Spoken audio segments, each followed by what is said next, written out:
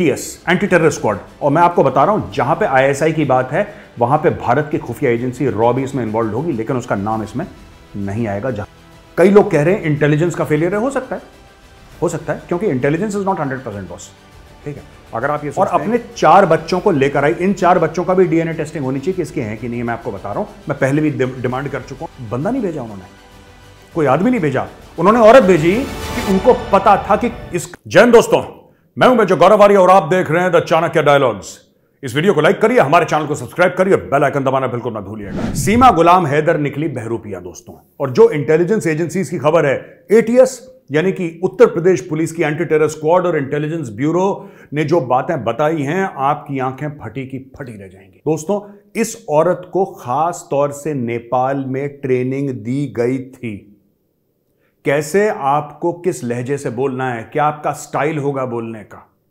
और ये मैं डे वन से कह रहा हूँ। डे वन से जब मैंने पहला वीडियो निकाला था, तब देखना जब मैंने सीमा हैदर की बात करी थी, मैं डे वन से कह रहा हूँ कि इसके बोलने का तरीका गलत है। ठीक है? मीडिया भी आपको यही बात बता रहा है। अब इस बात के पुख्ता सबूत मिल गए हैं कि इसको नेपाल में आईएसआई वालों ने ट्रेनिंग दी। और यह ट्रेनिंग कैसे दी? ये ट्रेनिंग इस तरीके से दी कि ह्यूमन स्मगलर्स होते हैं जो बाहर से आते हैं नेपाल में नेपाल में उनको ट्रेनिंग दी जाती है और फिर नेपाल के बॉर्डर से वो लोग भारत आते हैं। तो इनको वॉइस एंड एक्सेंट की मैंने कल के वीडियो में समझाया था ना, किस तरीके से MTI mother tongue influence MTI होता मैंने आपको समझाया था। अगर मैं उत्तर प्रदेश वाला हूँ और मैं अगर हिंदी बोलता हूँ तो खास लहजे से हिंदी बोलूँगा। आपको पता लग जाएगा कि यूपी वाला है। या फिर अगर कोई उत्तराखंड का है, वो हिंदी बोलेगा। या फिर कोई तमिलनाडु का है, वो हिंदी बोलेगा। या फिर राजस्थान का, कहीं और का, जो भाषा बोलेगा, आपको पता लग जाएगा कि अच्छा भाई साहब, वहाँ के रहने वाले हैं। दो मिनट में आप पता लगा सकते हैं अगर आप भारतवासी भारत में रहते हैं। इट्स नॉर्मल आप पता लगा सकते हैं। इसका एक्सेंट ऐसा बनाया गया। अब मैं आपको पढ़ के बताता हूँ उसमें लिखा क्या है। ना आपको मज़ा जाए तो सुनिएगा। कैसे, क्या दिमाग लगाया पाकिस्तान ने? पकड़ा गया, जलील हुआ, वो बात अलग है। लेकिन क्या दिमाग लगाया बॉस ये तो देखो, तारीफ़ तो करो इनकी जरा एक मिनट। सीमा को प्रोफेशनल्स ने प्रोफेशनल्स ने उसकी हेल्प करी to look like a women from rural India यानी कि उसकी वेशभूषा बदली। कि आप ऐसे मत लगो। हिंदुस्तानी औरत ऐसे नहीं लगती। जो गाँव में हिंदुस्तानी हिंदू औरत रहती है, वो कुछ इस तरीके से, वो तो सचिन मीना बेचारा बोला आदमी, वो बोला क्या, उसकी भी टाइट होनी चाहिए अभी। उसके भी स्क्रू टाइट करे सरकार। लेकिन वो, उसने गलती से मुँह से बक दिया कि पाकिस्तानी है। वरना कभी नहीं पकड़ी जाती। ये कभी नहीं पकड़ी जाती दोस्तों। सीमा ने क्या करा कि सीमा को पहले ट्रेनिंग दी गई कि तुम्हारा देखो लुक ऐसा होगा। आप कभी भी देखना, वो जब साड़ी पहनती है, जिस तरीके से उस सर पे पल्लू रखती है ये टिपिकल उत्तर प्रदेश में, खासतौर से वेस्टर्न यूपी में, ठीक है? आपको जो लेडीज़ हैं, महिलाएँ हैं, आपको ऐसी ही कपड़े पहनते दिखेंगी। आप देखिए ना किस लेवल की ट्रेनिंग हुई है। किस लेवल की ट्रेनिंग हुई है उसको कि अब देखिए साड़ी अलग है। हमारी वही माताएँ, हमारी बहनें जो साउथ में पहनेंगी, वो अलग पहनेंगी, ठीक है? जो उत्तराखंड में, हिमाचल में पहनेंगी, वो अलग पहनेंगी। उत्तर प्रदेश में भी साड़ी पहनने के अलग अलग तरीके आप तो बोलेंगे, नहीं, वो साड़ी तो पहनने का एक ही तरीके नहीं। नहीं, अगर आप देखेंगे ध्यान से, किसी ने, किसी पाकिस्तानी आईएसआई के अफसर ने इसके ऊपर डिटेल्ड रिसर्च करी, अब ये देखिए। इसको किस तरीके से आपकी वेशभूषा है, आपको कैसे दिखना है? How do you look like a woman from rural India not someone from a foreign country according to sources ये कह रहा है। सूत्रों के हिसाब से ये बताया गया दूसरी चीज़, सीमा और उसके बच्चों की जो लुक्स हैं, उसको केयरफुली फ़ैशन करा गया और उसको इस तरीके से बनाया गया कि अगर कोई सिक्योरिटी वाला पूछे, आप ये सोचिए कि बच्चों को भी ट्रेनिंग दी है। बच्चों को भी ट्रेनिंग दिया छोटे बच्चे तो मासूम होते हैं। तो उनको ऐसे माहौल में डाला गया अच्छा बच्चे क्या होते हैं? बच्चे सीख लेते हैं बहुत जल्दी। बच्चा कुछ भी होता है, बहुत जल्दी सीख लेता है। वो तो हमारी उम्र जब बढ़ जाती है, फिर हम लोग सीख नहीं पाते कोई चीज़ नहीं। हमें उतनी दिक्कत आती है सीखने में, लेकिन बच्चे सीख जाते हैं। तो बच्चों को एक ऐसे खास माहौल में रखा गया। ऐसा नहीं कि बच्चों की ट्रेनिंग करी गई, लेकिन इनडायरेक्टली ट्रेनिंग करी गई कैसे? बच्चों को एक खास माहौल में रखा गया। अब छोटा बच्चा एक साल का, छोटा बच्चा एक साल का। आप अगर दो साल का बच्चा है, अगर आप उसको एक कमरे में रखें जहाँ पे सब लोग रशियन बोलते हैं, और 24 घंटे सिर्फ़ रशियन बोल रहे हैं तो बच्चा वही भाषा बोलना शुरू कर देगा। वो भाषा बोलना बच्चा शुरू कर देगा। तो ये हमें देखने की बात है दोस्तों कि ये हुआ क्या है यहाँ पे, किस तरीके से उसके बच्चों तक को ट्रेनिंग करी है और कितना अंदर तक ये मामला गया है। तीसरी चीज़, ये कहते हैं कि जो ह्यूमन ट्रैफिकर्स हैं, जो इंसानों की तस्करी करते हैं, जो मैंने पहला पॉइंट बताया था, उसके बारे में बोला गया है कि ये औरतों की ऐसी स्मगलिंग करते हैं, इनको भारत लाया जाता है और ये इन्होंने करा। Intelligence agencies have also taken note of Seema's fluency in languages इसको कई जबानें आती हैं और फ्लुएंटली आती हैं। ज़बरदस्त तरीके से बोल लेती है ये। कई जबानें सिर्फ़ हिंदी नहीं। ये हिंदी बोल लेती है उर्दू बोल लेती है अंग्रेज़ी बोल लेती है, एक दो और जबानें बोल लेती है फ्लुएंटली कोई दिक्कत नहीं है इसको। ऐसा नहीं कि हिचक रही है, हकला रही है, क्या हो गया? ना नॉट एट ऑल ये बिल्कुल ऑन द डॉट बोलती है सीमा। सीमा ट्रेंड है। मैं आपको यही बताने की कोशिश कर रहा हूँ।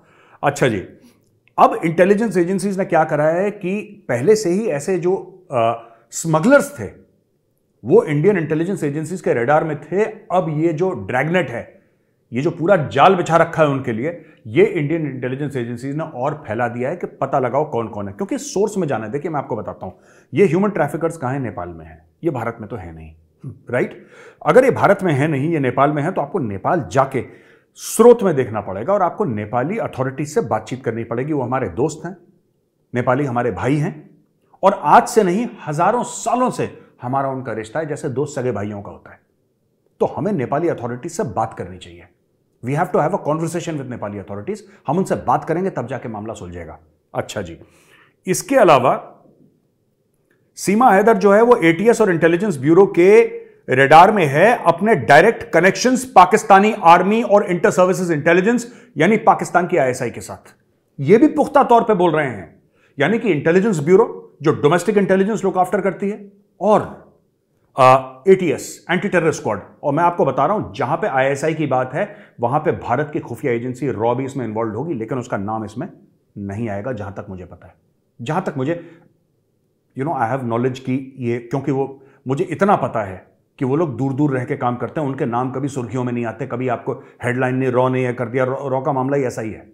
ठीक है? मैं उनके साथ इंटरेक्ट भी मैंने करा है, जो अपने जिन्होंने खालिस्तान कॉन्स्परेसी लिखी थी संधु साहब ने मैंने उनके साथ भी बातचीत करी है और वो अपना अपना इंट्रोडक्शन तक नहीं देते, चुपचाप अपना काम करते हैं। अब तो he is very senior person he special secretary raw is very very senior person but उन्होंने मुझे ये बात बताई थी कि मतलब we don't we don't discuss anything everything that we do is confidential क्या करना है, क्या नहीं करना मैंने उनका इंटरव्यू लिया था रिपब्लिक टीवी में आप जाके देख सकते हैं द गौरव आर्या शो में। I have taken is interview fantastic person बिल्कुल जीनियस आदमी। And he told me and I was very shocked जो उन्होंने मुझे बात बताई ना, संधु साहब ने जो मुझे बात बताई आई वॉज़ शॉक्ड है मैंने कभी दिमाग में मैंने सोचा नहीं था कि ऐसे ऐसे गेम खेले जाते हैं। तो भाई, अगर इसमें रॉ इन्वॉल्व है तो फिर किसी को पता नहीं लगेगा रॉ इन्वॉल्व होगी इसमें। मैं आपको बता रहा हूँ, वो छानबीन में लग गए होंगे कई समय पहले। जो मीडिया अभी नहीं बता रही, क्योंकि मीडिया खुद ही नहीं पता होगा। अच्छा जी सीमा और सचिन ने यह क्लेम करा है यह दावा करा है कि अपने चार बच्चों के साथ वो आई मई तेरह में। इस साल के तेरह मई को वो आई नेपाल से इंडिया। लेकिन पूरी सीसीटीवी की कवरेज देखी, वहाँ पे सीसीटीवी लगे हुए पूरी सीसीटीवी की कवरेज निकाली बॉस। एक एक बंदे से पूछताछ करी। जो बॉर्डर पे गार्ड्स थे एक एक बंदे से पूछताछ करी है और सब के सब एक ही बात बोलते हैं कि सीमा गुलाम हैदर इस तारीख को नहीं आई। मैं आपको फिर से बताता हूँ एक चीज़, कि आप लोगों को बात समझ में आ जाए, कितना मोटा गेम है भैया ये, कितना तगड़ा गेम है। सीमा हैदर ये कहती है कि वो तेरह मई को भारत आई अपने प्रेमी सचिन मीणा के साथ रहने के लिए ग्रेटर नोएडा। लेकिन सारे सूत्र ये बताते हैं, सीसीटीवी तो झूठ नहीं बोलेगा। चलो गार्ड ने, गार्ड से भी मिस नहीं होगा वहाँ पे वैसे, जो बॉर्डर पे लगा हुआ है अपना। उससे भी मिस नहीं होगा। लेकिन कोई बात नहीं। सीसीटीवी तो सीसीटीवी है, चौबीस घंटे ऑन रहता है रिकॉर्डिंग रहती है। सीसीटीवी देख ली भाई तेरह मई को सीमा गुलाम हैदर चार बच्चों के साथ नहीं आई थी। वो नहीं आई थी। समझ गए आप? तो ये भी बात उसकी झूठी है। अब मैं आपको एक और चीज़ बताता हूँ दोस्तों। According to the agreement between India and Nepal the police of respective countries inform the intelligence agencies about the presence of any citizen of a third country यानी कि भारत और नेपाल में यह एक मुआदा है। ये एक अंडरस्टैंडिंग है कि अगर वहाँ पे आसपास जगह में कोई भी विदेशी नागरिक हो, वो, मैं ये नहीं कह रहा कि वो आईएसआई का है, किसका है, कोई भी विदेशी नागरिक हो आसपास के एरिया में तो एक दूसरे को बताते रहते हैं कि बॉस, ये बंदा आया था, ऐसा आया था, ऐसा आया था। ये बात पता ही नहीं लगी किसी को, ना नेपाल को, ना भारत को। राइट कई लोग कह रहे हैं इंटेलिजेंस का फेलियर है, हो सकता है। हो सकता है, क्योंकि intelligence is not hundred percent boss ठीक है? अगर आप ये सोचते हैं कि किसी को 110 परसेंट पता ही लग जाएगा, ऐसा ऐसा कभी नहीं हो सकता। ऐसा, घरों में नहीं होता यार ऐसा। जहाँ पे चार पाँच लोग रहते हैं उस घर में छह सात लोग रहते हैं उस घर में, वहाँ पे आपको पूरी घर की बात नहीं पता लग सकती। आप ये सोचते हैं कि 140 150 करोड़ के मुल्क का आपको सब कुछ 24 घंटे पता it's not possible let is not expect that नहीं होता कभी कभी दैट्स ओके बट मैं ये कहना चाहता हूँ कि किस तरीके से ये पूरी साजिश रची गई। अब मैं आपको और बातें बताता हूँ दोस्तों। ना आपको मज़ा आ जाए सुन के तो फिर नाम बदल देना मेजर का। बहन के पास, ये सीमा गुलाम हैदर जो बहन है हमारी, बहन के पास दो वीडियो कैसेट मिले, वो जो मैं पहले बता चुका हूँ आपको, जिसमें उसकी शादी वादी का वो था कि गुलाम हैदर के साथ शादी हुई है। अब एक बात बताओ, वो अपने पति को छोड़कर आई और अपने चार बच्चों को लेकर आई। इन चार बच्चों का भी डीएनए टेस्टिंग होनी चाहिए कि इसके हैं कि नहीं, मैं आपको बता रहा हूँ। मैं पहले भी डिमांड कर चुका हूँ, पहले मांग कर चुका हूँ। मैं फिर ये मांग कर रहा हूँ, सरकार से हाथ जोड़ के विनती कर रहा हूँ कि, सर प्लीज़ आप चेक करवाइए, इसके बच्चे हैं कि नहीं? किराए से तो नहीं लेकर आई एक दो ये। एक दो इसके भी होंगे। मैं मना नहीं कर रहा, एक दो इसके नहीं है। एक दो इसके होंगे, हो सकता है एक दो ऐसे लेकर आइए पाकिस्तान से उठा के। राइट अब मैं ये कहना चाह रहा हूँ कि ये जो सीमा गुलाम हैदर है, ठीक है, ये दो वीडियो कैसेट लाई। जिसमें उसकी शादी की कहानियाँ थी शादी के जो वीडियो कैसेट नहीं बनाते लोग सीडी वीडी बनाते हैं। ये औरत वो लेकर आई। ये क्यों लेकर आई? ये क्यों लेकर आई? क्या उसको सचिन मीना को दिखाने थे वीडियो? कि भाई देखो, ये मेरा पहला हस्बैंड ऐसे, मेरा निकाह ऐसे हुआ था वहाँ पे। ये क्यों लेकर आई? इसका मतलब क्या था वीडियो कैसेट लाने का भारत? क्योंकि इसको पता था कि वो वीडियो कैसेट पकड़े जाएँगे। और वो जानबूझ के लेकर आई कि ये पकड़े जाएँ। और उसने ये छुपाने की कोशिश नहीं करी कि वो पाकिस्तानी नागरिक है। एक बार वो पकड़ी गई। पहले तो उसका यह मंसूबा था कि पकड़ी ना जाए। जब पकड़ी गई तो उसने ये डिनाई नहीं करा। वो डिनाई कर सकती थी। वो बोल सकती थी, मैं यहीं पे और गाँव के दस लोगों को खड़ा कर देती। ऐसा तो हिंदुस्तान में लाखों करोड़ों लोग हैं जिनका कुछ पता ही नहीं है। जिनका कुछ पता ही नहीं है। कहीं और चली जाती, किसी गाँव में चली जाती। उत्तर प्रदेश के अंदर और चली जाती। उत्तर प्रदेश इतना बड़ा है। कहाँ पता लगना था किसी को? सचिन मीणा का मुँह खुला। ये मामला अनरावल हुआ। अब देखिए। बहन जी के पास निकले हैं, ओ भाई साहब, ये पूरी स्पाई है शीज अ स्पाई हम टेलिंग ये पूरी जासूस है ये, पूरी जासूस है ये। इसका भंडा फूट गया, वरना ये अभी तक कांड कर चुकी होती भारत में, देखो। इसके पास से निकले वो दो वीडियो कैसेट शादी के, इसके अलावा चार इसके पास मोबाइल फ़ोन है, चार मोबाइल फ़ोन और ये बताती है अपने आप को एक मासूम, कौन सी गाँव की औरत, गाँव के आदमी के पास, शहर के आदमी के पास, किसी के पास, चार मोबाइल फ़ोन कौन रखता है यार?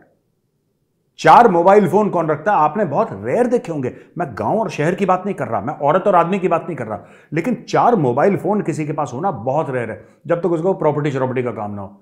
आजकल तो वो भी बंद हो गया क्योंकि डुअल सिम और ट्रिपल सिम और क्वाड्रिपल सिम पता नहीं क्या क्या दुनिया भर की चीज़ें आजकल आने लगी हैं, मुझे भी नहीं पता। तो दोस्तों, वो लोग रखते हैं। दो फ़ोन रख लिए, किसी ने चार चार फ़ोन अब इसके हैं एक्टिव एक्टिव चार फ़ोन। ठीक है दोस्तों, इसके अलावा सीमा गुलाम हैदर जो हैं, बहन जी बहन जी का क्या मामला है कि इसके पास पाँच पाकिस्तानी ऑथराइज्ड पासपोर्ट्स हैं। पाँच पाकिस्तानी पासपोर्ट हैं। बंदे के पास एक होता है, बहन के पास पाँच हैं। पाँच पासपोर्ट पाँच अलग नाम, पाँच अलग शनाख्त, पाँच अलग आइडेंटिटी पाँच अलग पहचान। बहरूपिया। मैंने बोला था ना? मैंने बोला था बहरूपिया बहरूपिया। सीमा गुलाम हैदर। उसका नाम है। ठीक है? दूसरा पासपोर्ट आपने निकाला। आपने बोला, नहीं, सीमा गुलाम हैदर, इसका नाम ही नहीं है, इसका नाम सीमा सिंह है। ये पाकिस्तानी हिंदू है, इसका नाम सीमा सिंह है, इंडिया आई है। फिर तीसरा, उसका नाम कुछ और है। चौथा कुछ और है, पांचवा कुछ और है, और एक पासपोर्ट इन पाँच के अलावा एक पासपोर्ट है खाली। Incomplete name and address. कि पाकिस्तानी आईएसआई ने बोला कि, बहन, तू अपनी मर्ज़ी से भर लियो, जो तेरे को भरना है। जब तू फंस जाए और पाँचों पासपोर्ट काम ना करे, हम छठा भी तेरे को दे रहे हैं। ऐसा कभी होता है? पासपोर्ट, बॉस, इतना स्ट्रिक्टली कंट्रोल होता है, इतना स्ट्रिक्टली इंडिया में तो अभी बहुत एफिशिएंट हो गया है। आप पासपोर्ट ऑफ़िस जाओ तो फटफट आपका काम हो जाता है। ऐसा लगता है कि कोई कॉर्पोरेट उसको रन कर रही है। और मैंने सुना है कि कॉर्पोरेट उसमें इन्वॉल्व भी हैं, लेकिन now it is become very stream एक ज़माने में तो नाक से खून निकल जाता था पासपोर्ट ऑफ़िस जाने में। वो सुषमा जी के बाद ये मामला सेट हुआ है। सुषमा स्वराज जी थी ना हमारी जो एक्सटर्नल अफेयर्स मिनिस्टर भगवान उनकी आत्मा को शांति दे। उनके उनके आने के बाद ये मामला सेट हुआ है और जयशंकर साहब ने तो स्टेरॉयड लगा दी इसमें, लेकिन एक ज़माने में नाक से खून निकल जाता था अब जाते पासपोर्ट ऑफ़िस पूरे दो दिन ऑफ़िस से छुट्टी लेकर काम करवाना पड़ता था, तब जाकर दलाल को अलग पैसा दो। ठीक है? मैं ये जानना चाहता हूँ कि ये एक औरत जो कहती है कि मैं बिल्कुल नहीं और मैं बिल्कुल गरीब हूँ और मेरे साथ बहुत जुल्म है और ये है, वो है, पाकिस्तान में तो और ज़्यादा गंदी ब्यूरोक्रेसी है।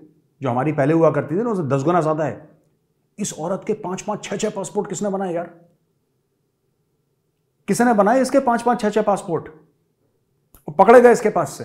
ठीक है जी? चलो जी ऑल राइट इसके अलावा एक आइडेंटिटी कार्ड है, सीमा गुलाम हैदर का। अब सीमा गुलाम हैदर का आइडेंटिटी कार्ड हम इसके बारे में बात कर चुके हैं। ये वो आइडेंटिटी कार्ड है दोस्तों, जो 2022 का बना हुआ है। यानी कि सीमा गुलाम हैदर का आइडेंटिटी कार्ड बाद में बना और इसके कुछ पासपोर्ट पहले बन गए। आप और हर एक मुल्क का प्रोसेस लगभग सेम होता है। आप बिना आधार कार्ड के पासपोर्ट बनवा लोगे? आप बिना रेजिडेंशियल एड्रेस के, घर के पता के, प्रूफ के, आप पासपोर्ट बनवा लोगे अपना? बनवा लोगे आप? बहन ने बनवाया और एक नहीं छह छह बनवाए इसने। क्योंकि इसका पाकिस्तान का नेशनल आइडेंटिटी कार्ड ही इसका पिछले साल का है। यानी कि पिछले साल से एक दो साल से मंसूबा बनाया जा रहा है ये प्लान बनाया जा रहा है कि सीमा गुलाम हैदर को ऐसे ट्रेनिंग देंगे, ड्रेस ऐसे पहनेगी, बिंदी ऐसे लगाएगी, सिंदूर ऐसे लगाएगी, साड़ी का पल्ला ऐसे लेगी, साड़ी इस तरीके से बांधेगी कि जब गाँव की औरतों के बीच में चले तो कोई फ़र्क ना पता लगा पाए कि ये कौन से गाँव की ये कैसी है। इसकी भाषा ऐसी होगी, इसकी जबान ऐसी होगी, इस प्रकार से ही रहेगी, इसके बच्चे इस तरीके से बातचीत करेंगे। बड़ा गेम है बॉस ये। बहुत बड़ा गेम है ये। जब से पाकिस्तान की हवा निकली है ना, भारतीय सेना ने हवा निकाल दी। पाकिस्तान ऐसी चीज़ें कर रहा है कि किस तरीके से। और यार, हर समय मैं आपको बताता हूँ, पता है फ़ायदा इसमें क्या होता है? किसी भी खुफिया एजेंसी को। लोग, ये बंदा होता ना, सीमा गुलाम हैदर। माना इसका नाम होता सलमान गुलाम हैदर। सीमा की जगह सलमान होता है राइट मैं बता रहा हूँ, इसको उल्टा टांग के इसकी पतंग उड़ा देते हैं। पर वो लेडी है। वो औरत है। आप देखो ना, एक तो औरत पे शक नहीं जाता। ये बात मैंने कई जगह देखी। ये दुख्तरान मिल्लत, जो एक टेररिस्ट ग्रुप है, वो अपने आप को कुछ भी बोले एनजीओ बोले, लेकिन कश्मीर में अब तो वो नामात्र के बराबर है, आसिया अंद्राबी वाला ग्रुप दुख्तरान मिल्लत इसी चीज़ का फ़ायदा उठाता था। और मैं आपको बता रहा हूँ 99 percent ninety percent of Kashmiri women जो औरतें हैं, वो क्या चाह रही हैं? वो ये चाह रही हम पढ़ लें, हम लिख लें, हम स्कूल चले जाएँ, हम वकील बन जाएँ। ठीक है? हमारे बच्चे ठीक से पढ़ जाएँ, हमारा घर ठीक से चलिए। आसिया अंद्राबी ने क्या करा कि कुछ लोगों को रेडिकलाइज कर दिया। हार्डकोर और वो रेडिकलाइज इतना हो गए कि वहाँ पे श्रीनगर में लड़कियों को धमकियाँ देने की, तूने स्कूटी चलाई है तेरे मुँह पे तेजाब फेंक देंगे। मैं आपको सही बात बता रहा हूँ। अब की नहीं बात है। ये पहले की बात है, मैं आपको बता रहा हूँ, आठ दस साल पहले की। जब यहाँ पे ऐसा चलता था, आसिया अंद्राबी ने तो आतंक मचा रखा था। हिजाब में नहीं है। बुरका नहीं पहनती। पूरा उसने ऐसा कर दिया था, आसिया अंद्राबी ने, औरतों के बीच में।